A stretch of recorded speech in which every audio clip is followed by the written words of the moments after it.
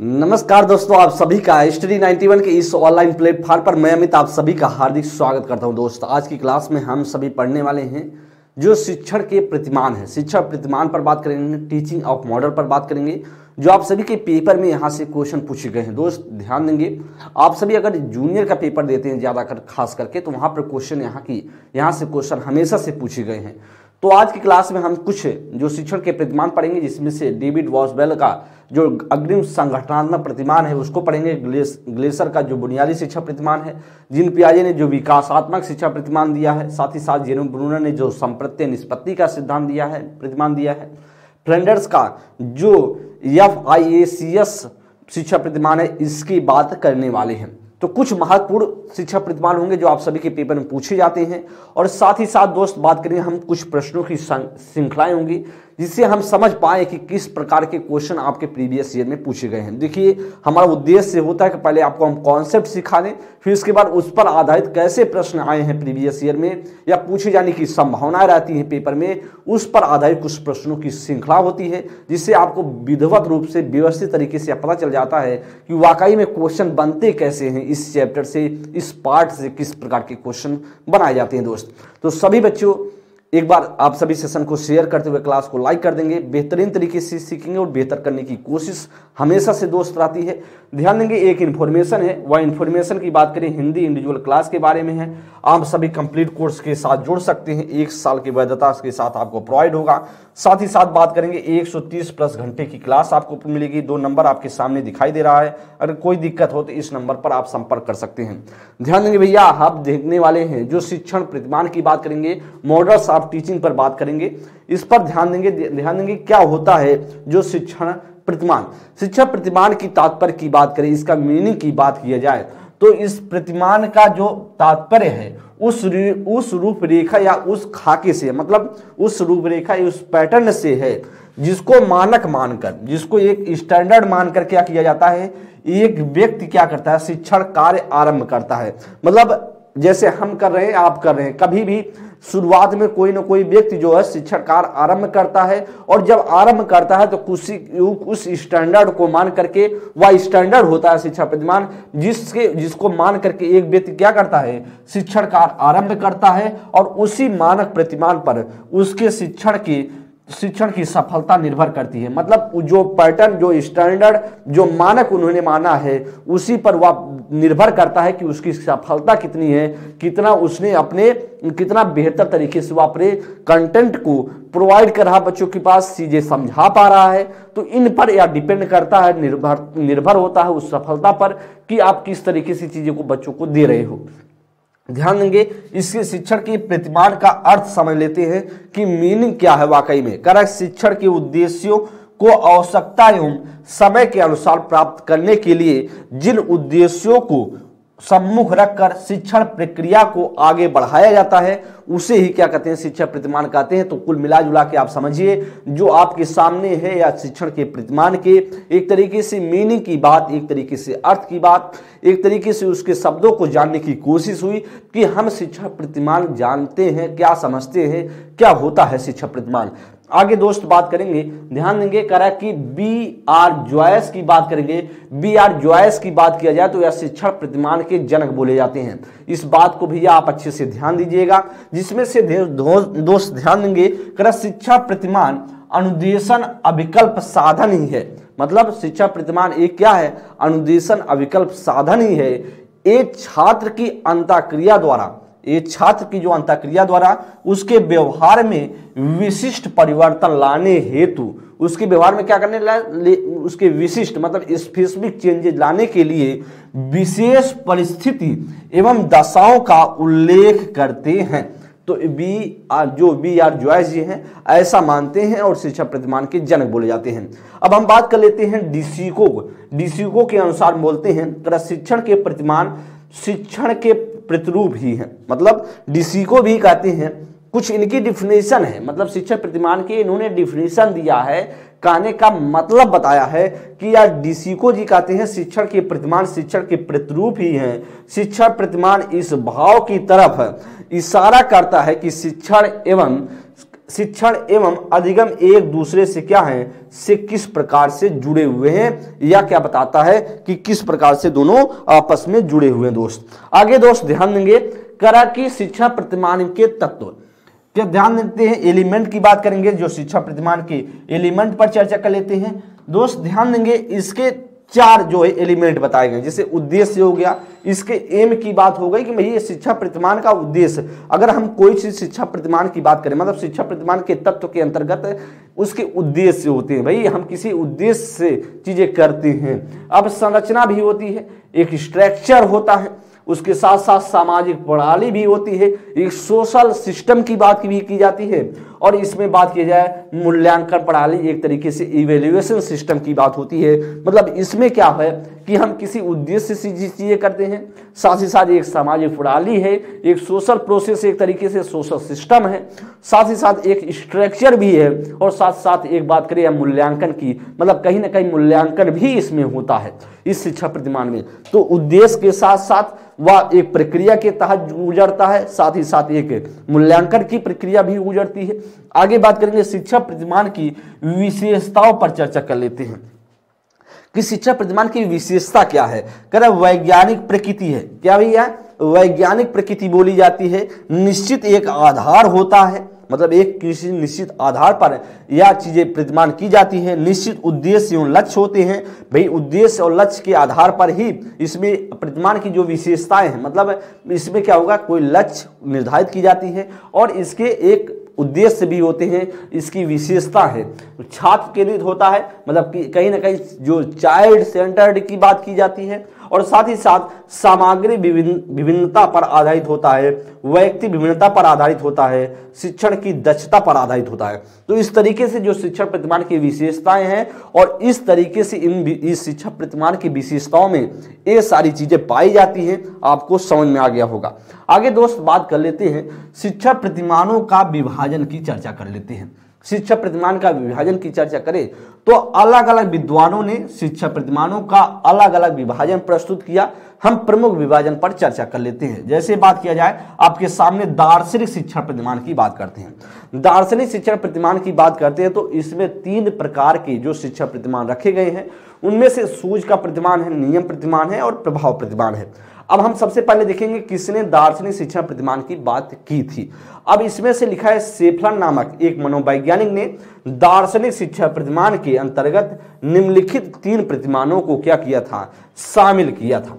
तीन प्रतिमानों को शामिल किया और इसमें से तीन प्रतिमान कौन सा? एक सूझ प्रतिमान जो प्लेटो के द्वारा दिया गया है। एक नियम प्रतिमान को शामिल किया, जो अरस्तु के द्वारा दिया गया है। एक प्रभाव प्रतिमान है, जो सुकरात के द्वारा दिया गया है।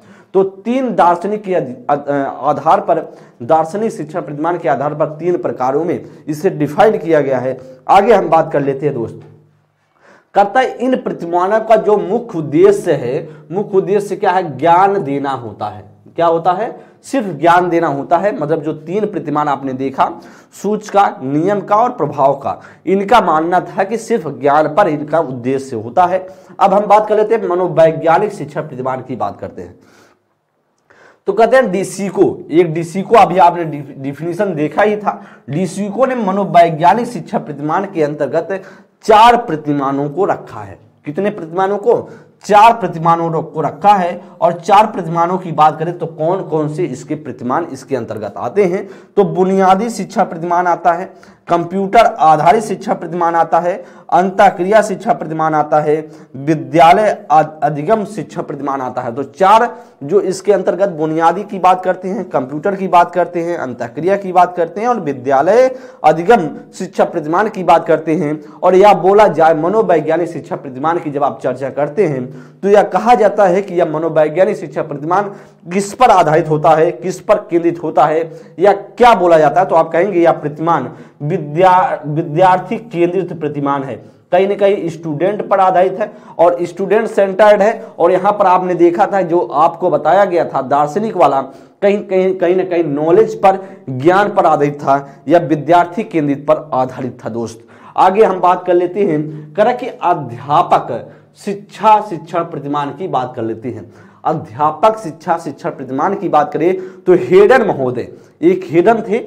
हेडन ने अध्यापक शिक्षा शिक्षा प्रतिमान के अंतर्गत चार प्रतिमानों को रखा है। मतलब आपने स्टूडेंट वाला भी देख लिया, आपने टीचर वाला भी देख लिया, आपने ज्ञान वाला भी देख लिया। और इस अध्यापक की बात करें जो चार प्रतिमानों में रखा है, जिसमें हिल्दवा हिल्दवा तवा की बात करें, का शिक्षा प्रतिमान है।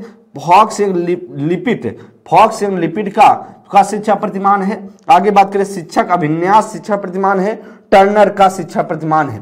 तो ये चार प्रतिमान इसके अंतर्गत रखे गए हैं जो आपके पेपर में इंपॉर्टेंट है इन प्रतिमानों की बात करा जाए तो किसने कौन सा प्रतिमान दिया इस प्रकार के प्रश्न पूछे जाते हैं। अभी हम प्रश्नों की श्रृंखलाएँ जब आपके सामने रहेंगी तो आपको स्पष्ट रूप से जानकारी हो पाएँगी वाकई में शिक्षक के प्रतिमान से क्वेश्चन पूछे कैसे जाते हैं। आपको बस अभी से क्या समझना है सिर्फ़ कॉन्सेप्ट को समझना है सीखना है कि, कि कैसे क्वेश्चन बनाए जा सकते हैं इससे। आगे दोस्त बात कर लेते हैं। अब हम कुछ कुछ शिक्षा जैसे आधुनिक शिक्षा प्रतिमान है।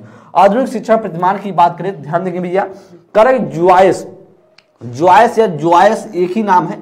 ज्वाइस एवं बिल ने अपनी पुस्तक, मॉडल ऑफ़ टीचिंग तो मॉडल ऑफ़ टीचिंग का जनक किसे बोला जाता है? तो बी और जॉयस को बोला जाता है। मैंने आपको पहले ही बताया था जॉयस एवं बिल ने अपनी पुस्तक, मॉडल ऑफ़ टीचिंग में शिक्षण प्रतिमानों को निम्न भागों में बांट दिया है। कैसे? एक तो बताया उन्होंने, निम्न भागों में क्या बांटा है? सूचना प्रक्रमण सिद्धांत की बात करते हैं, सामाजिक अंतक्रिया शिक्षा प्रतिमान की बात करते हैं, वैयक्तिक शिक्षा प्रतिमान की बात करते हैं, और व्यवहारवादी शिक्षा प्रतिमान की बात करते हैं। तो कौन कौन से? तो चार भागों में उन्होंने बांटा है और कुछ भागों में जैसे बांट कर सूचना प्रक्रम हो गया, सामाजिक अंतक्रिया शिक्षा प्रतिमान हो गया, वैयक्तिक शिक्षा प्रतिमान हो गया, व्यवहारवादी शिक्षा प्रतिमान की बात यहाँ से हो गई दोस्त। अब हम एक एक शिक्षा प्रतिमानों की चर्चा करते हुए चलेंगे। जैसे आपने देखा दार्शनिक के आधार पर, आपने देखा जो एक तरीके से, जो विद्यार्थी विद्यार्थी का शिक्षा प्रतिमान अध्यापक वाला था। तो इन सारी चीज़ों को आपको मनोवैज्ञानिक वाला, जिसे विद्यार्थी केंद्रित माना गया था, आपने अध्यापक शिक्षा प्रशिक्षा प्रतिमान की बात की थी। अब हम कुछ एक एक करके शिक्षा प्रतिमानों की चर्चा करेंगे, जो आपके पेपर के लिहाज से इंपॉर्टेंट होने वाले हैं। तो पहला आपके सामने है सुकरात का शिक्षा प्रतिमान।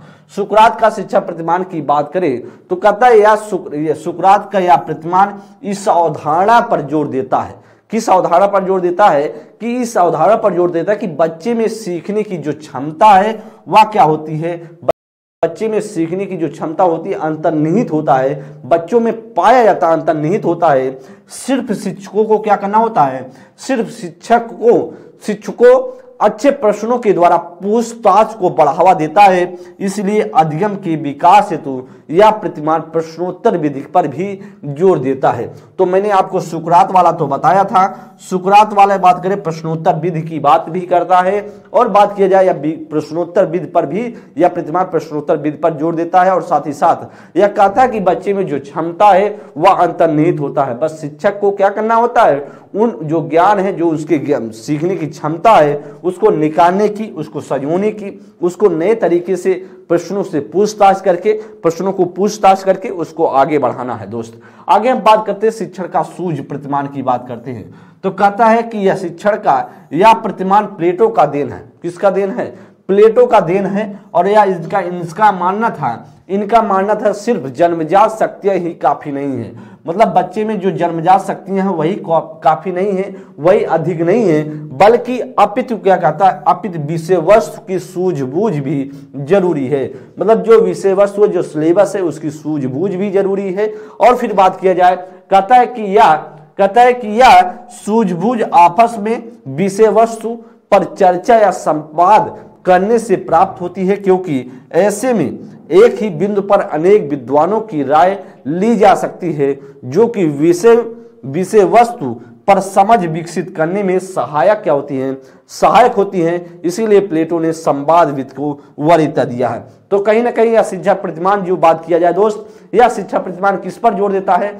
सूझ पर देता है, कहीं ना कहीं वाद विवाद पर देता है, कहीं ना कहीं संवाद पर ज़ोर देता है। मतलब कहीं ना कहीं आप किसके आधार पर एक तरीके से आप बातचीत करो एक तरीके से राय लो, जानकारी प्राप्त करो, सिर्फ़ क्या है? सिर्फ़ जन्मजात शक्तियाँ ही इनको, इनके द्वारा सही तरीके से नहीं मानी गई। कहा गया कि वही सारी जन्मजात शक्तियाँ ही बहुत ज़्यादा नहीं हैं, बल्कि विषय वस्तु क्या होनी चाहिए? सूझबूझ होनी चाहिए, चर्चा पर चर्चा होनी चाहिए और और इसीलिए इनका जो प्रतिमान है, सूझ का प्रतिमान कहलाता है और इसे इन्होंने संवाद विधि को भी क्या दिया था? वरीयता दिया था इसीलिए।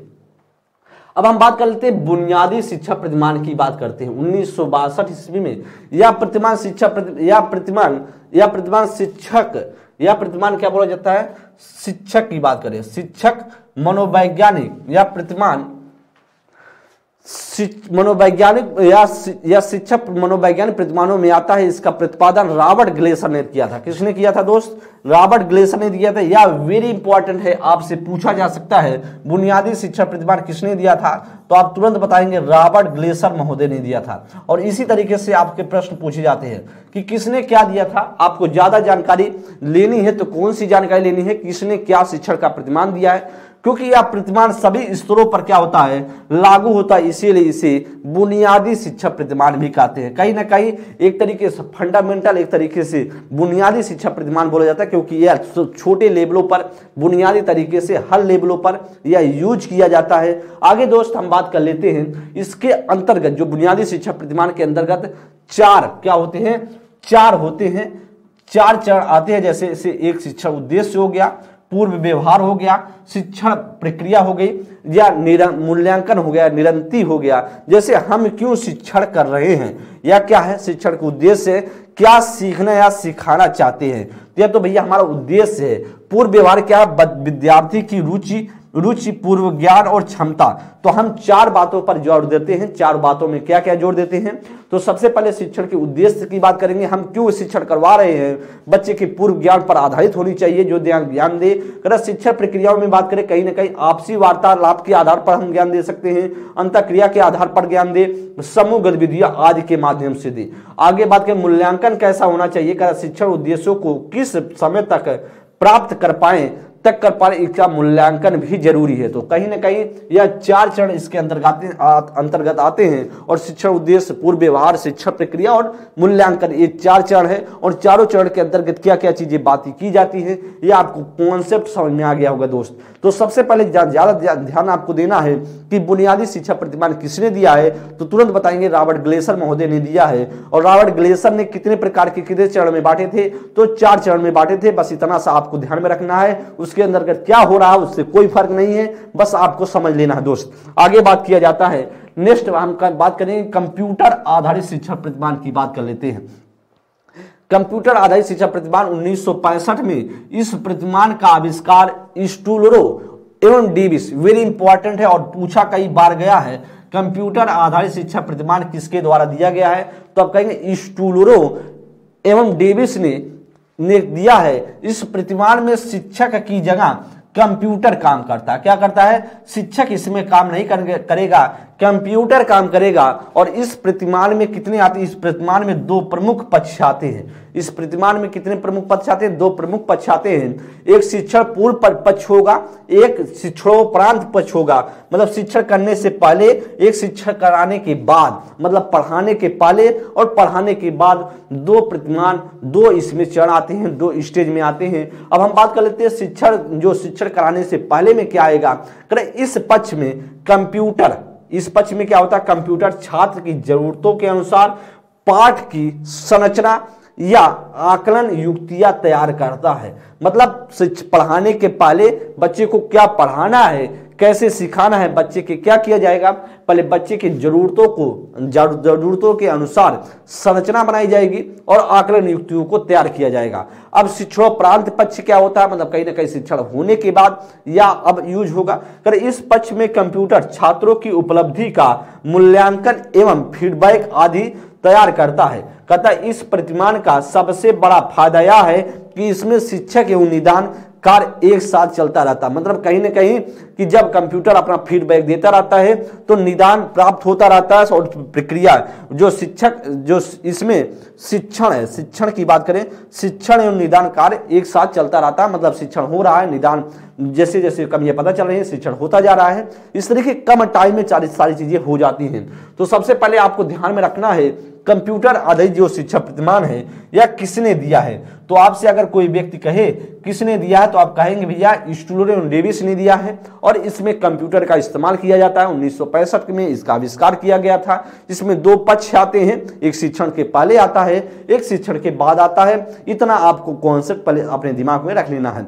अदरवाइज़ इससे ज़्यादा क्वेश्चन पूछा नहीं जाएगा। दोस्त, आगे बात करेंगे। एक इन्फॉर्मेशन है। वह इन्फॉर्मेशन आर ओ की कंप्लीट बैच के साथ आप सभी जुड़ सकते हैं। दो नंबर आप सभी के सामने दिया गया, अगर कोई दिक्कत हो तो इस नंबरों पर आप संपर्क कर सकते हैं।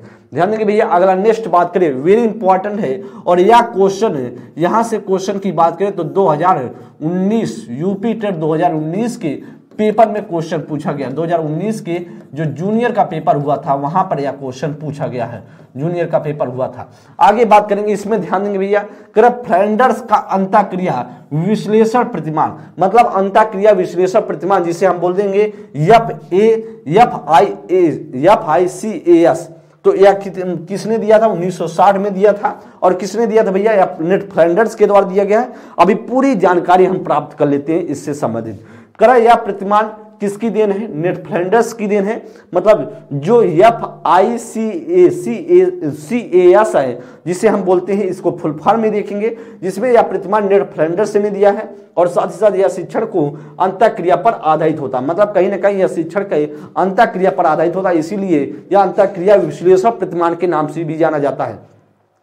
फ्लैंडर्स ने इस प्रतिमान इस प्रतिमान में कुल कितने दस कथन या अंताक्रिया मानी है? मतलब कहीं ना कहीं दस कथन या अंताक्रिया पर ज़ोर देता है। और आपसे पूछा जाता है, जो नेट फ्लैंडर्स ने दिया शिक्षा प्रतिमान, वह कितने कथन इसके अंतर्गत आते हैं? तो आप सीधा बताएँगे, दस आते हैं। वेरी इंपॉर्टेंट लाइन है, अभी आप सभी से पूछी गई है।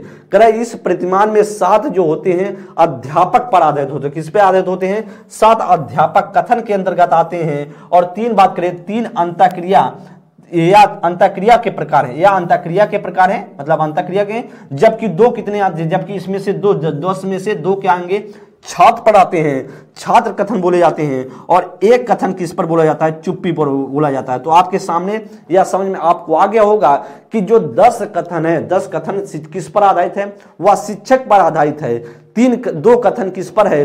वह छात्र पर आधारित है और एक कथन किस पर है? वह चुप्पी पर आधारित है। और ऐसा प्रश्न पूछा गया कि निम्न में से जो फ्लैंडर्स का शिक्षा प्रतिमान है किस पर आधारित नहीं है। एक ऑप्शन में अभिभावक भी रखा गया है तो आपको टिक करना अभिभावक पर नहीं रखा गया है। छात्र पर, शिक्षक पर, साथ ही साथ एक चुप्पी पर रखा गया है।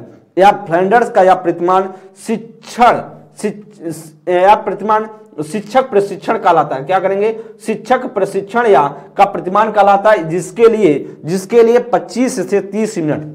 क्या 25 से 35 मिनट तक समय निर्धारित होता है। यह सारी पॉइंट आपके लिए वेरी इंपॉर्टेंट है। आगे दोस्त बात करेंगे। कल नेट फ्लैंडर्स की बात करें। नेट फ्लैंडर्स का जो F L A C S है जो या F L A C S है इसके बाद बात कर लेते हैं। इसके ए, फुल फॉर्म की बात कर लेते हैं। या प्रतिमान दस चरणों की अंतक्रिया पर आधारित है जिसे नेट फ्लैंडर्स ने दिया है। जिसे देखिए Flanders interaction Flanders interaction analysis communication system तो आपको यह समझ में आ गया होगा एफ़ है एफ़ आई है एफ़ आई है एफ़ एल नहीं है F I F I F I, A, C, S F I, C S F I, C S C S, देखिए यहाँ पर लिखा है एफ़ आई, सी एस तो F I A C S देखिए कम्युनिकेशन सिस्टम या फाइव सी एस फ्लैंडर्स की बात करें तो यह आपका फुल फॉर्म है। इसको ध्यान देंगे Flanders interaction analysis communication system जिसे बोलते हैं। यहाँ पर थोड़ा सा हमको लगता है कि गलती लिख गई है। यहाँ पर ए सी एस है। या फाई ए सी एस है। यहाँ पर गलत लिखा गया है। या फाई ए सी एस लिखा गया है। यहाँ पर वह आपका गलत लिखा गया है। टाइप गलत हुआ है। या फाई ए सी एस बोला जाता है। फ्रेंडर्स इंट्रैक्शन एनालिसिस सिस्टम जिसे हम बोलते हैं भैया, जिसे हम बोलते हैं फ्रेंडर्स का, जो अंत क्रिया विश्लेषण जो कम्युनिकेशन संप्रेषण सिस्टम है, यह आपसे पूछी जाती है। इसका फुल फॉर्म कई बार पूछा गया है। F I A C S का फुल फॉर्म क्या होता है? किसने दिया है? तो फ्लैंडर्स महोदय ने दिया है। और इसमें दस जो होते हैं, दस कथन आते हैं, जिसमें से सात होंगे, शिक्षक पर आधारित होगा, दो होंगे, वह छात्र पर आधारित होंगे, एक चुप्पी पर, एक मौन पर आधारित होता है। तो यह ऐसा लिखा भी गया है कि सात, दस पद में से सात शिक्षक पर, दो छात्र पर, एक एक पद किस पर मौन या चुप्पी में रखा गया है, या आपको दिमाग में रखने की ज़रूरत है। आगे दोस्त बात करेंगे, इसमें से जो दस है, अंतक्रिया आधारित सभी जो दस पद हैं, किस पर किस पर है, इसे हम ध्यान देते हैं। तो एक अनुभूति हो गया, प्रोत्साहन हो गया स्विकोर्ति स्वीकार उक्ति हो गई, प्रश्न पूछना हो गया, व्याख्यान देना हो गया, जैसे निर्देशन देना, आलोचना आलोचना देना। और दो क्या क्या है? या अठवा और नवा देख पा रहे हैं। यह छात्र की है। या छात्र की है और शुरुआत से लेकर जैसे अनुभूति हो गया, प्रोत्साहन हो गया स्वीकार उक्ति हो गई, प्रश्न पूछना, व्याख्यान देना, निर्देशन देना, आलोचना करना, ये क्या है? ये शिक्षक केंद्रित है। ये कितने, क्या है? शिक्षक केंद्रित है। क्या है? शिक्षक केंद्रित है और इसको आप लोग ध्यान देना। और छात्र कथन अनुक्रिया, छात्र शुरुआत या मौन या चुप्पी आपका दसवां है। तो इसमें से बात करें, कुल समय कितना होता है? पच्चीस से पैंतीस मिनट का समय होता है, दस पदों में यह वर्णन किया गया है। आगे दोस्त, हम थोड़ा सा जानकारी प्राप्त करेंगे। विद्यालय आधारित शिक्षण प्रतिमान वेरी इंपॉर्टेंट है, इसे भी ध्यान दीजिएगा। क्या होता है? विद्यालय अधिगम विद्यालय अधिगम शिक्षण प्रतिमान की बात करेंगे। उन्नीस सौ बासठ के आसपास जॉन कैरोल वेरी इंपॉर्टेंट किसने दिया है? विद्यालय विद्यालय अधिगम आधार विद्यालय अधिगम शिक्षा प्रतिमान किसने दिया तो आप कहेंगे जॉन कैरोल ने दिया है। और कब दिया था? उन्नीस के आसपास दिया था। इस प्रतिमान को स्कूल अधिगम को ध्यान में रख करके बनाया गया है। स्कूल की जो लर्निंग है, उसको ध्यान में रख करके यह शिक्षा प्रतिमान बनाया गया है। इस प्रतिमान की मुख्य विशेषता यह है कि इसमें सीखने के लिए पर्याप्त समय दिया जाता है। मतलब कहीं ना कहीं बच्चे को ज़्यादा से ज़्यादा समय दिया जाता है, बच्चे ज़्यादा से ज़्यादा सीख पाए। इस प्रतिमान में कितने पाँच चरण आते हैं, या भी पाँच चरण आपको याद होना चाहिए। पहला आपके सामने है शिक्षण के उद्देश्य और निर्धारण। दूसरा पूर्व ज्ञान या निष्पत्ति कुवरीयता। या तीसरा है शिक्षण के अनुकूलन। चौथा क्या? आवश्यकता के अनुसार समय। पांचवा क्या? दक्षता की प्राप्ति। तो आपको समझ में आ रहा होगा दोस्त किस प्रकार से यहाँ चीज़ें पूछी जाती हैं? विद्यालय अधिगम शिक्षा प्रतिमान की बात करेंगे, जो जॉर्ज कैलो ने दिया है इसमें पाँच चरण आते हैं, और पाँचों चरण आपसे वाकई में पूछे नहीं गए हैं कभी, लेकिन आपको ध्यान में रखना कितने चरण आते हैं तो आप कहेंगे पाँच आते हैं बच्चों को सिखाने के लिए स्कूल अधिगम को ध्यान में रख करके यह प्रतिमान बनाया गया है, जान जान कैरोल महोदय ने दिया। बस इतना सा आपको ध्यान में रखनी है। आगे दोस्त बात करते करते हैं, आगमन शिक्षा प्रतिमान की बात करते हैं। तो आगमन शिक्षा प्रतिमा, प्रतिपादक कौन है? हिलदवा तोवा है। इस यह प्रतिमान मुख्यतः शिक्षक के प्रशिक्षण के लिए बनाया गया। आगमन शिक्षा प्रतिमान किसके लिए? शिक्षक के, जो ट्रेनिंग के लिए बनाई गई है। इस प्रतिमान में निम्नलिखित चरण आते हैं। कुछ चरण ध्यान देंगे, जैसे बात किया है, शिक्षण क्रियाओं की सूची तैयार करना देखेंगे यहाँ पर प्रशिक्षण की बात हो रही है, कहीं ना कहीं जो प्रशिक्षण पर टीचर को प्रशिक्षण देने की बात हो रही है। मतलब टीचर को कैसे प्रशिक्षण दिया जाए, या प्रतिमान उस पर आधारित होता है तो कहीं ना कहीं शिक्षण, जो शिक्षण क्रियाओं की सूची तैयार करना, कैसे आप पढ़ाते हो, उसकी क्रियाओं की सूची तैयार करना, शिक्षण क्रियाओं को क्रियाओं को वर्गों में विभाजित करना, साथ ही साथ शिक्षण क्रियाओं की दिशा या संबंधों का वर्णन करना, क्रियाओं या की दिशा और संबंधों की व्याख्या करना, उपयोग व्याख्या व्याख्या के आधार पर निष्कर्ष निकालना, या परिकल्पना की व्याख्या करना, या परिकल्पना की पुष्टि या सामान्यकरण करना। तो आपको समझ पा रहे होंगे।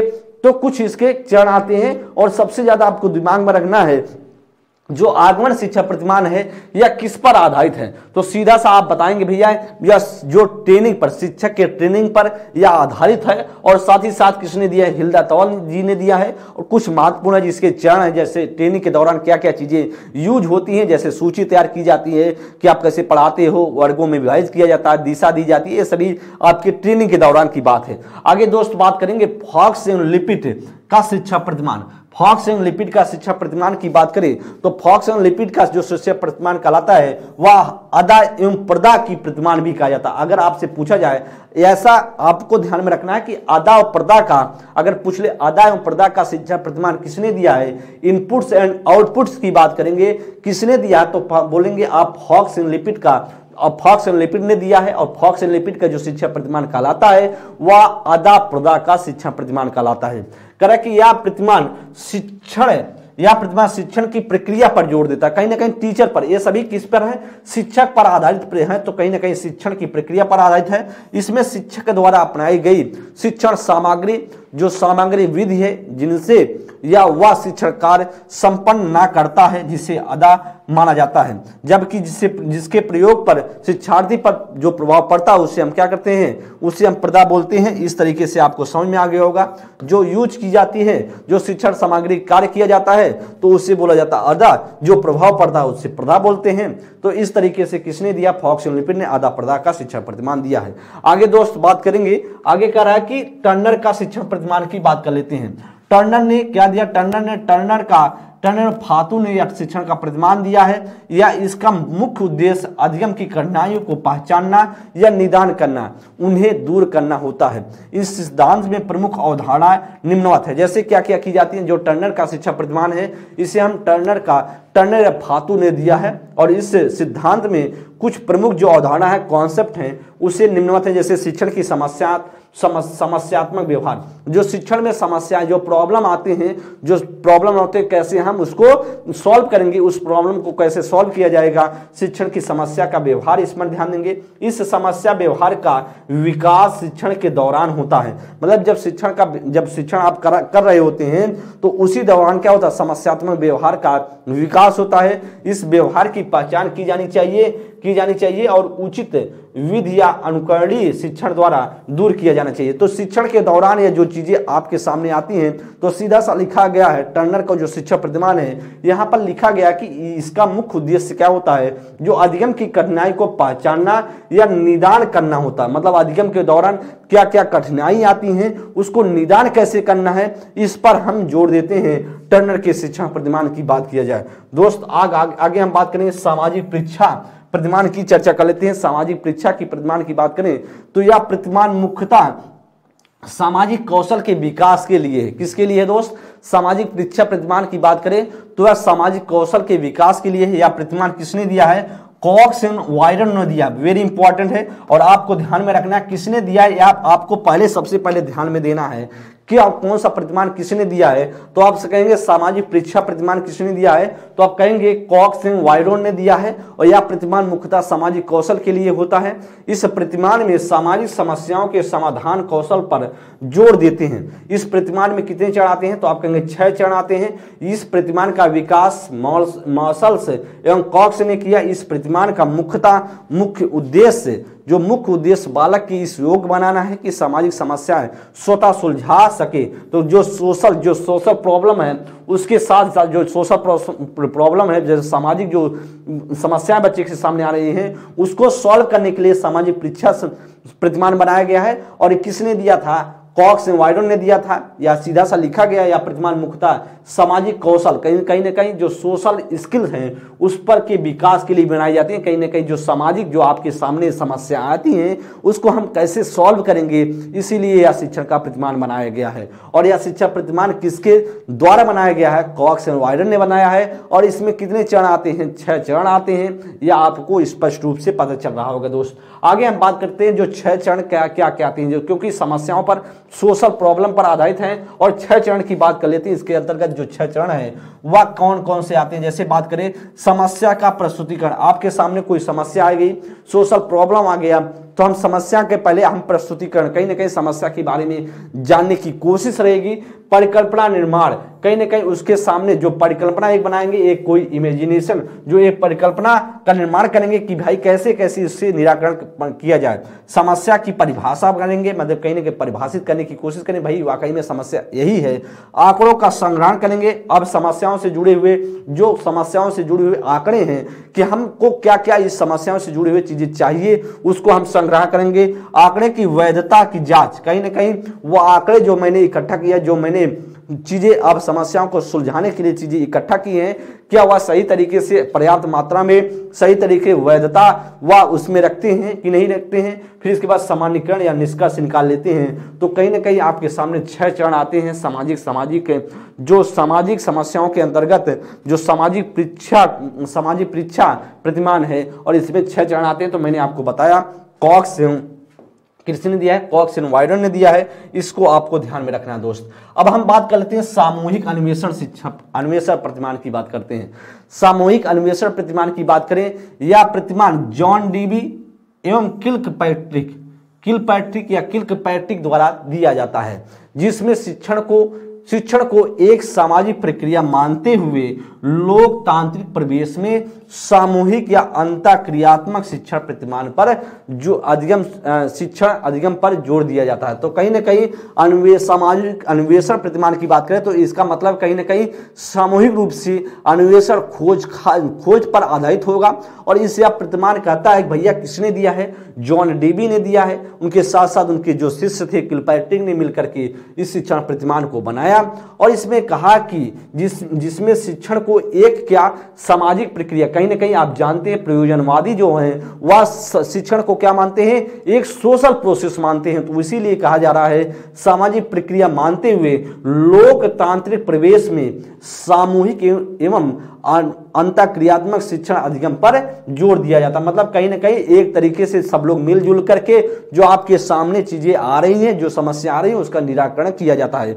तो आपने देखा होगा कि जब शिक्षक और शिक्षार्थी एक तरीके से पढ़ रहे शिक्षक पढ़ा रहा था शिक्षार्थी पढ़ते हैं तो कहीं ना कहीं अंत क्रिया पर आधारित होकर के कहीं ना कहीं समूह में दोनों आपस में बातचीत करके उन चीज़ों का निराकरण कर लेते हैं। तो इस तरीके से सामूहिक अन्वेषण की बात करें तो यह जॉन डीवी और किलपैटिंग ने दिया, आपसे पूछा जाता है या प्रतिमान शिक्षक शिक्षार्थी द्वारा मिलजुल कर खोज देखे रह पा रहे हैं। कहीं ना कहीं मिलजुल कर क्या करना? खोज करना, प्रयोग करना, अनुसंधान आदि द्वारा सामूहिक, सामाजिक मुद्दे के समाधान पर ज़ोर दिया जाता है। तो आपके समझ में आ रहा होगा, शिक्षार्थी द्वारा मिलजुल कर प्रयोग करके, अनुसंधान करके ये सारी चीज़ें इस प्रतिमान में की जाती है, दोस्त। आगे हम बात करेंगे संप्रत्यय निष्पत्ति प्रतिमान की बात कर लेते हैं। संप्रत्यय निष्पत्ति प्रतिमान की बात करें, इस प्रतिमान का विकास जेरोम ब्रूनर एवं उसके सहयोगी द्वारा द्वारा की गई है। मतलब जो संप्रत्यय निष्पत्ति प्रतिमान आपसे पूछ लेगा तो आप कहेंगे जेरोम ब्रूनर के द्वारा और उनके सहयोगियों द्वारा इसका विकास किया गया था। इस प्रतिमान का जो मुख्य उद्देश्य है, बालक में विभिन्न संप्रत्तियों का विकास करना। मतलब कहीं ना कहीं बाल इसका जो उद्देश्य होता है इस प्रतिमान का तो कहीं ना कहीं जो संप्रत्यय है कॉन्सेप्चुअल नॉलेज मतलब कहीं ना कहीं कॉन्सेप्ट संप्रत्यय है, वह कॉन्सेप्ट है, वह संप्रत्यय का विकास करना होता है प्रत्यय का बोध कराने के लिए के लिए तथा विद्यार्थी को भ्रम से बचने के लिए दो या दो से अधिक क्षेत्रों में मौजूद संप्रत्तियों में समानता एवं अंतर बताए जाते हैं। मतलब कहीं ना कहीं जो संप्रत्य हैं, जो कॉन्सेप्ट हैं, क्या अंतर हो सकता है, क्या समानता है, जैसे कभी कभी होता है कि आपको कभी कभी यूज़ कैसे? आपने देखा होगा कि कभी कभी एक दो शब्द ऐसे आपने देखा होगा कोई शब्द है। कोई शब्द ऐसा होता है कि कहीं पर या यूज़ किया जाता है, कहीं पर वह यूज़ किया जाता है। तो कब क्या यूज़ की जाएँगी वह शब्द? जैसे आपने देखा ना कि आर्टिकल उठ कर पढ़ते होंगे तो एन का यूज़ कहाँ करेंगे, ए का यूज़ कहाँ करेंगे? जैसे प्रोनाउंसिएशन जब आप करते हैं, कोई चीज़ बोलते हैं तो आपके शब्दों से क्या होता है वो चीज़ें? कैसी स्पष्ट रूप से चीज़ें आप बोल रहे हैं तो आपको पता चल जाता है। तो उस तरीके से एन का यूज़, एन, ए का यूज़ आप करते हैं, आर्टिकल का। तो वही करा कि कैसे हमको उस संप्रत्यय से, कैसे हमारे लिए वह समानता है, का हमको यूज़ कर लेना है, कब अंतर कर लेना है, या जो आपके सामने कोई शब्द होगा कोई मीनिंग है, वह मीनिंग, वह कोई शब्द कब कहाँ यूज़ होगी, इसके लिए समानता की बात करेंगे कि भाई, या इसकी, इस तरीके से अगर पैलर में चीज़ें आती हैं तो हम इसको शब्द का यूज़ यहाँ पर कर देंगे। अगर समानता में कुछ अंतर की चीज़ें आती हैं तो हम इसको डिफरेंट करने की कोशिश रहेगी। तो इसमें बात करें ब्रूनर ने, इस संप्रत्ति में चार प्रमुख उद्देश्य को माना है। किसको? चार प्रमुख उद्देश्य को माना है और फिर से इस बात को ध्यान देंगे। संप्रत्यय निष्पत्ति प्रतिमान के नाम से जाना जाता है। संप्रत्यय के विकास के लिए ज़ोर दिया जाता है। कहीं ना कहीं जो बच्चे के बीच भ्रम है, उसको बचने के लिए जो बच, उस संप्रत्यय में क्या समानता है, क्या अंतर है, इसके बारे में बताया जाता है। दो दोस्त, इसमें चार प्रमुख उद्देश्य माने जाते हैं। चार प्रमुख जो उद्देश्य हैं, जैसे आंकड़े प्रस्तुत करना प्रत्येक आव्यूह का विश्लेषण करना, जो प्रत्येक कॉन्सेप्ट का एनालिसिस करना, विश्लेषण को लिखित रूप से रिकॉर्ड करना, अभ्यास करना। तो इनके में कितने चरण आते हैं? तो चार चरण आपके दिमाग में होना चाहिए। सबसे पहले प्रस्तुत करना, आंकड़े प्रस्तुत करना, उसके बाद आपके सामने दिख रहा है प्रत्येक अब्रू का विश्लेषण करना, जो आपके पास कॉन्सेप्ट है, उसको हम एनालिसिस कर देंगे। उस एनालिसिस को हम लिखित रूप से रिकॉर्ड बनाएँगे और रिकॉर्ड बनाने के बाद उस पर प्रैक्टिस करेंगे, अभ्यास करेंगे। यह चार चरण आते हैं दोस्त। तो एक इन्फॉर्मेशन है, वह इन्फॉर्मेशन अपने हिंदी से के आर ओ आर ओ प्रीमियंस की पुस्तक है। और आपकी बात करें समान अध्ययन की प्रीमियंस के लिए आर ओ आर ओ के लिए, यह भी पुस्तक बहुत महत्वपूर्ण दोनों पुस्तक वेरी इंपॉर्टेंट है। या आप आप सभी ऑनलाइन ऑफलाइन दोनों तरीके से परचेज कर सकते हैं। और आर ओ आर ओ की जो बेहतरीन अगर तैयारी करना चाहते हैं तो ज़रूर आप लोग यह पुस्तक परचेज कर सकते हैं, दोस्त। बहुत इंपॉर्टेंट बुक है, बहुत अच्छी बुक है। मैंने इस बुक को अच्छे से देखा है परखा है, देख, समझा है, दोस्त। जो आपके सामने 12 नंबर है, या दिशा विहीन शिक्षा प्रतिमान का बात कर लेते हैं। दिशा विहीन शिक्षा प्रतिमान किसने दिया है? तो सबसे पहले आप कहेंगे, भैया, कॉल रॉजर्स ने दिया। किसने दिया है? कॉल रॉजर से नहीं दिया या आपको याद होने चाहिए कौन से प्रतिमान किसने दिया है। आपको कुछ याद हो चाहे मत याद हो, लेकिन अशिक्षण का प्रतिमान किसने क्या दिया है या तो ज़रूर याद होना चाहिए। अगर आपको याद नहीं रहा है तो फिर आप गलतियाँ कर जाएँगे, और जब गलतियाँ कर जाएँगे तो फिर एग्जामिनर अपने आप जानते हैं नंबर कट ही जाएगा। तो यह प्रतिमान इस बात को मानता है कि शिक्षक विद्यार्थी को दिशा नहीं दे सकता है। मतलब यह प्रतिमान कहता भैया, शिक्षक जो है, जो टीचर है, वह विद्यार्थी को दिशा नहीं दे सकता। अपितु विद्यार्थी खुद से सीखने पर, सीखने को तत्पर रहते हैं। मतलब अगर शिक्षक, शिक्षार्थी चाहे भैया, हमें नहीं सीखना है तो शिक्षक किसी भी हालत में उसे सिखा नहीं सकता। और सही बात है कि अगर शिक्षार्थी सीखना ही ना चाहे तो शिक्षक क्या उसको कोई दिशा में ले जाकर के किसी एक डायरेक्शन में उसे सिखा सकता है क्या? कभी नहीं सिखा सकता है। जब तक स्टूडेंट सीखना ना चाहे तो यही प्रतिमान कहता है कि भैया यह प्रतिमान इस बात को मानता है कि शिक्षक विद्यार्थी को दिशा नहीं दे सकता।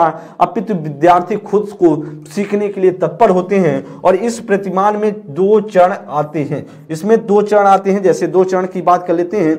इसमें से चरण यह कहता है कि शिक्षक द्वारा अधिगम के लिए अपेक्षित वातावरण तैयार करना। पहले बात तो सबसे पहले जो अधिगम के लिए जो शिक्षक क्या करेगा, वह बच्चे के लिए वातावरण ऐसा इन्वायरमेंट क्रिएट करे जिससे समझाया जा सके। छात्रों द्वारा व्यक्तिगत या अंतक्रिया करके सिखाना कहीं ना कहीं, वह व्यक्तिगत रूप से और अंतक्रियात्मक रूप से ऐसा इन्वायरमेंट क्रिएट कर दे शिक्षक कि बच्चे को इंडिविजुअल भी समझा सके, अंतक्रियात्मक रूप से सिखाने के लिए तत्पर कर दें। यहाँ पर देखिए तीसरा पॉइंट नहीं है। यह प्रतिमान मानता है यहाँ पर ध्यान देंगे। यह प्रतिमान मानता है कि शिक्षक को विद्यार्थी की समस्या सुलझाने के लिए विद्यार्थी को दिशा देने की कोई ज़रूरत नहीं है। दिशा, ज़रूरत नहीं है। खुद विद्यार्थी अपने समस्या स्वतः, अपने तरीके से सुलझा सकता है। तो यह तरीका तीसरा जो आपके सामने तो नहीं है, दो ही हैं। जैसे सबसे पहले कहता है कि शिक्षक क्या करेगा? इन्वायरमेंट क्लियर करेगा सबसे पहले। और दूसरी बात कहता है कि भैया, जो दूसरा कहता है कि भैया सबसे पहले हम जो इंडिविजुअल तरीके से समस्या सुलझा सकते हैं और अंत क्रियात्मक रूप से। तो दो तरीके से पहले हम टीचर के रूप में वह ऐसा माहौल बनाएँगे। ऐसा माहौल, ऐसा क्लियर करने की कोशिश रहेगी और ऐसा कहता है, दिशा विहीन से ही लग रहा है। दिशा विहीन बिना दिशा नहीं दी जाती है। मतलब शिक्षार्थी खुद सीख लेगा, बस शिक्षार्थी क्या शिक्षक क्या करे, वैसा इन्वायरमेंट तैयार करे, वैसा वह माहौल दे। तो दोस्त, आपके सामने दिशा विहीन शिक्षा प्रतिमान था। कॉल रॉजर्स ने दिया है। आगे हम बात करेंगे सृजनात्मक शिक्षा प्रतिमान की बात करें। यह भी ध्यान देंगे भैया, किसने दिया है? डब्ल्यू गॉर्डन ने दिया। अभी आपके सामने ऐसे ही प्रश्न कहीं ना कहीं देखने को मिलेंगे। करे या इस प्रतिमान का मुख्य उद्देश्य बालकों में सृजनात्मक क्षमताओं का विकास करना है। विकास करना है। इस प्रतिमान में निम्नलिखित कितने पाँच चरण आते हैं? कितने चरण आते हैं? तो आप कहेंगे पाँच चरण आते हैं। तो प्रत्ययों का तथा तथ्यों का बोध, पहले तो प्रत्यय जो कॉन्सेप्ट है, तथ्य उसके जो फैक्ट है, उसको जानकारी होनी चाहिए। करे शिक्षक द्वारा सादृश्यता पैदा करना और समानता ज्ञात करवाना। कहीं शिक्षक की तो सादृश्यता मतलब होता है उसी तरह पैलर में उसी तरीके से चीज़ें फिर से डिज़ाइन करना। तो सादृश्यता पैदा करना और समानता ज्ञात derrota करवाना या कर छात्रों द्वारा व्यक्तिगत अनुभव को प्रयोग में लाना, विषय वस्तु एवं अनुभव में संबंध स्थापित करना, विभिन्न अनुभवों में अंतर करना। तो इसमें बोला जाता है, भैया, पाँच चरण आते हैं, पाँच चरण सृजनात्मक, जो शिक्षा प्रतिमान है तो सबसे पहले आपको ध्यान में रखना है। सृजनात्मक, जो सृजनात्मक शिक्षा प्रतिमान किसने दिया है तो आप कहेंगे डब्ल्यू गार्डन महोदय के द्वारा दी गई है, और इसमें कितने चरण आते हैं तो आप सीधा कहेंगे, पाँच चरण आते ही आते हैं। अब पाँचों चरण की बात करेंगे, जिसमें सबसे पहले हम हम क्या करते हैं? पाँचों चरण में प्रत्यय तथ्यों को अवबोध कराते हैं, समझ पैदा करते हैं, फिर इसके बाद सादृश्यता सादृश्यता कहीं ना कहीं उस तरीके से पहलर में उस तरीके से, शिक्षक द्वारा पहलर में कोई चीज़ इस तरीके से समस्या समस्या पैदा करे कि उसके पहलर में रहे, जिससे बच्चा उस समस्या को सुलझाए तो उस तरीके से भी उस समस्या को सुलझा ले जाए। छात्रों द्वारा व्यक्तिगत अनुभव को प्रयोग में लाना होता है। और कहीं ना कहीं अनुभव को व्यक्तिगत रूप से अनुभव, पाठ पाठ पाठ वस्तु और अनुभव को संबंध स्थापित करना जो अनुभव है और पाठ वस्तु है, जो सिलेबस है, जो अनुभव है, उसको कहीं ना कहीं कोरिलेट करना होता है। कहीं ना कहीं बात करें जो विभिन्न अनुभवों में अंतर करना कि भाई जो अनुभव आपके सामने है, आपको प्राप्त है, वह अनुभव कहाँ कहाँ यूज़ होंगे, इसके बारे में भी बच्चों को नॉलेज होनी चाहिए। तो आपके सामने पाँच चरण आते हैं, पाँचों चरण आपको समझ में आया होगा। या बात किया जाए, इसका मुख्य उद्देश्य क्या होता है? बच्चों में सृजनात्मकता को पैदा करना, कहीं ना कहीं क्रिएटिविटी की जो पोटेंशियल है, उसको जनरेट करना होता है। और सही, साथ ही साथ बात करें, किसने दिया है? तो कहेंगे डब्लू गार्डन ने दिया है, और सृजनात्मक शिक्षा प्रतिमान के नाम से जाना जाता है। तो इसमें समझ पा रहे होंगे, कहीं ना कहीं कहीं ना कहीं इसमें जितने भी चरण आ रहे हैं, कहीं ना कहीं क्रिएटिविटी पर ज़ोर दिया जा रहा होगा। अंत क्रिया शिक्षा प्रतिमान की बात कर लेते हैं। अंत क्रिया शिक्षा प्रतिमान का बात करें तो बी एफ़ स्किनर ने दिया है। वी एफ़ स्किनर ने दिया, इसमें शिक्षक के सहयोग को महत्व देते हुए मतलब शिक्षक को सहयोग मतलब कहीं ना कहीं शिक्षक क्या करता है? सहयोग देता है हेल्प करता है, कर देते हुए छात्रों को आपसी अंतक्रिया करते हुए सीखने पर ज़ोर दिया जाता है। ऐसी बात करते हैं। प्रयोगशाला प्रतिमान की चर्चा कर लेते हैं। प्रयोगशाला में कहता है, इस प्रतिमान का विकास वेदिल वेदिल और मेने, वेदिल और मेने ने दिया प्रयोगशाला, किसने शिक्षण प्रतिमान दिया है? तो कहेंगे वेदिल तथा मेने ने दिया है, इस प्रतिमान द्वारा छात्रों में समूह भावना तथा नेतृत्व का गुण विकसित करना होता। कहीं ना कहीं प्रयोगशाला में तो आप जानते हैं, जब तक सामूहिकता में कभी कहीं ना कहीं कहीं ना कहीं बात करें, वह समूह भावना, नेतृत्व की बात नहीं होगी जनरेट नहीं होगी, तब तक प्रयोगशाला में आप सही तरीके से जो आप बनाना चाहते हैं, उसको नहीं बना पाओगे, क्योंकि एक नेतृत्वकर्ता होना ही चाहिए। आगे दोस्त बात करेंगे करा कि ये इस प्रतिमान में छात्र, इस प्रतिमान में क्या करता है? छात्र एवं शिक्षक दोनों ही सक्रिय होते हैं। इसमें क्या होते हैं? इस प्रतिमान की बात किया जाए, इसमें प्रतिमान में छात्र और शिक्षक क्या होते हैं? दोनों क्या होते हैं भैया? वह सक्रिय होते हैं, क्योंकि अंत क्रिया को महत्वपूर्ण माना गया है, लेकिन छात्र को ज़्यादा सक्रिय रहना पड़ता है। तो कहीं ना कहीं जैसे बात किया जाए, इस प्रतिमान प्रयोगशाला प्रतिमान में क्या होता है? ज़्यादा जो शिक्षार्थी है, जो स्टूडेंट है, उसे क्या होना पड़ता है? छात्र को ज़्यादा सक्रिय रहना पड़ता है और साथ ही साथ बात करें तो दोनों ही सक्रिय होते हैं, क्योंकि छात्र और शिक्षक दोनों सक्रिय होंगे, तभी कोई ना कोई उस पर एक्सपेरिमेंट करके प्रयोगशाला में व लेबोरेटरी में क्या होगा? उस उसको जो लेबोरेटरी आपका है लेबोरेटरी में क्या किया जाएगा? उसको प्रयोग करके एक्सपेरिमेंट करके उसको प्रोडक्ट को हम प्राप्त कर पाएँगे। ज़्यादा ज़्यादा क्या स्टूडेंट को सक्रिय होना पड़ता है और कहीं ना कहीं क्योंकि अंतक्रिया को महत्व माना जाता है, क्योंकि जब तक एक दूसरे से अंतक्रिया नहीं होगा, तब तक बातें नहीं बन पाएँगी, तब तक जो चीज़ें जानकारी नहीं प्राप्त होंगी कि वाकई में बनाना क्या है।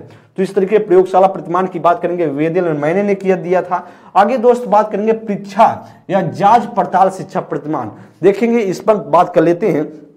जैसे परीक्षा जाँच पड़ताल, जो शिक्षा प्रतिमान है, किसने दिया है? इस प्रतिमान के वास्तविक प्रतिपादक कौन है? रिचार्ड सकमन है। कौन है भैया? Richard Suchman. ध्यान दें, रिचार्ड्स, रिचार्ड सकमन है। रिचार्ड क्या है? रिचार्ड सकमन है। इस प्रतिमान में कितने? तीन चरण आते हैं। इस प्रतिमान में तीन चरण आते हैं।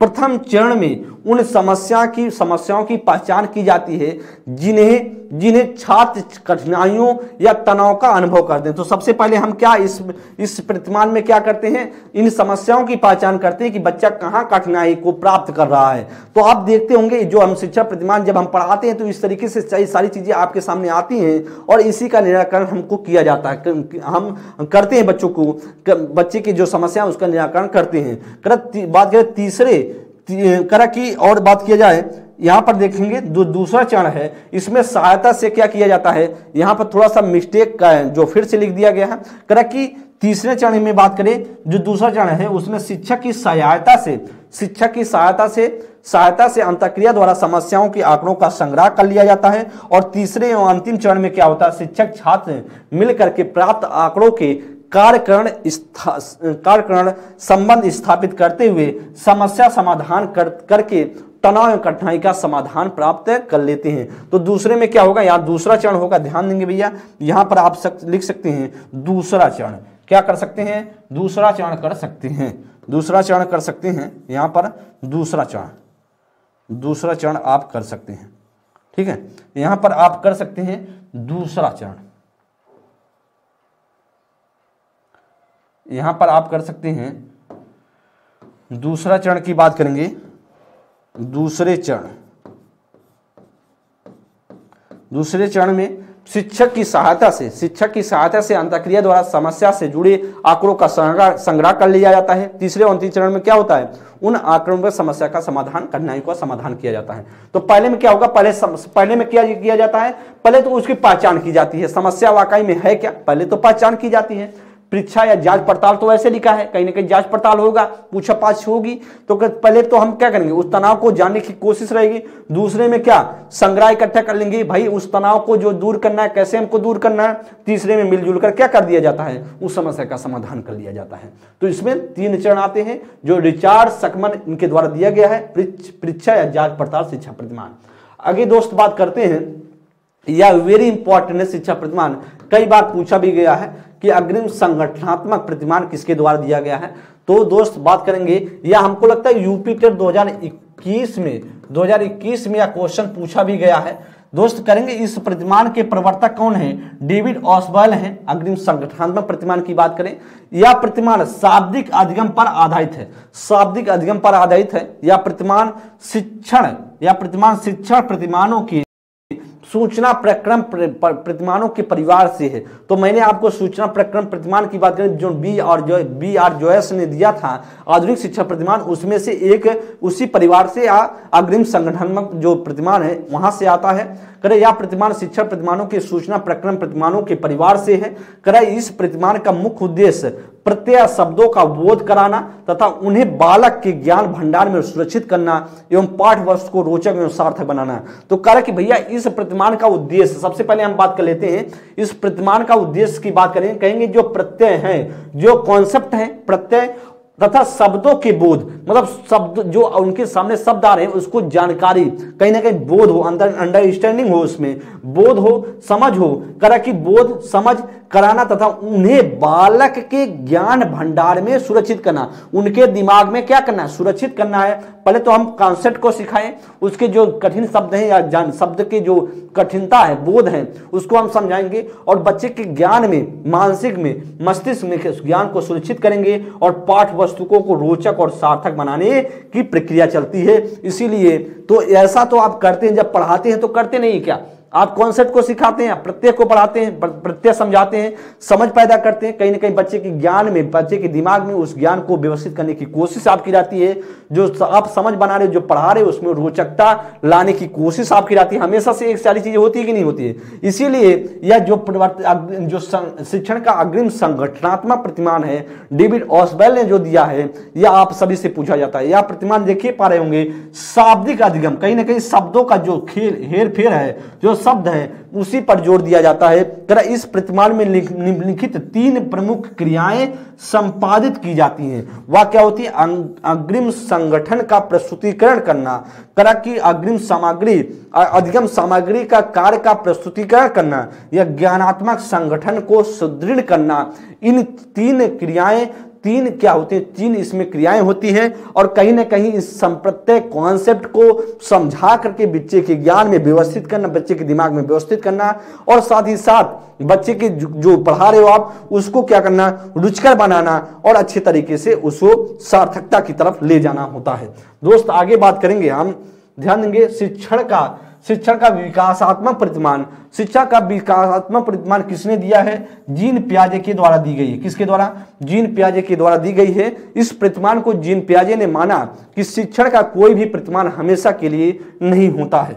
मतलब जो शिक्षण का प्रतिमान हमेशा के लिए नहीं होता है, कोई ऐसा प्रतिमान नहीं जो हमेशा के लिए हो, तथा शिक्षा शिक्षा के प्रत्येक स्तर पर प्रयोग नहीं किया जा सकता। तो सही सीधी सा मतलब है, जो शिक्षा शिक्षा के हर स्तर पर जो शिक्षा प्रतिमान का प्रयोग नहीं किया जा सकता, और ऐसा भी है कि कोई भी प्रतिमान हमेशा के लिए नहीं होता है। अर्थात कोई भी ऐसा शिक्षा प्रतिमान नहीं है जो हमेशा काम करे, इसीलिए बालक की उम्र, ग्रहण शक्ति पूर्व ज्ञान आदि के अनुसार शिक्षा प्रतिमान में बदलाव किए जाना चाहिए। एकदम सही है। बच्चे का उम्र क्या है? बच्चे में कितना ग्रहण शक्ति है? बच्चे में कितना ग्रहण कर सकता है? बच्चे के पूर्व ज्ञान की कितनी जानकारी है? उसके अनुसार हम क्या करते हैं? ज्ञान देने की कोशिश रहती है। तो इसमें क्या है? विकासात्मक शिक्षा प्रतिमान आपसे पूछे।